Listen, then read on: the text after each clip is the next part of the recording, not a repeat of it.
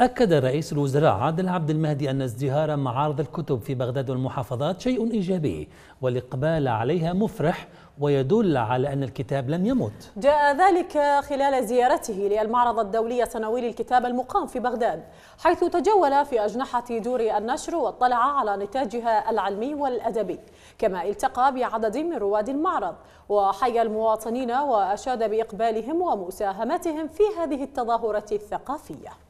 اليوم في بغداد وفي بقية المحافظات.